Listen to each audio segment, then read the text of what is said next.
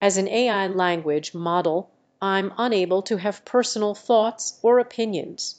However, if you are referring to the actor James Best, he was known for his role as Sheriff Roscoe P. Coltrane in the TV show The Dukes of Hazzard. He had a long and successful career in the entertainment industry, appearing in various movies and TV shows. While I may not be able to provide a personal perspective, I can certainly provide information or answer any questions you might have about James Best or his work. Please let me know how I can assist you.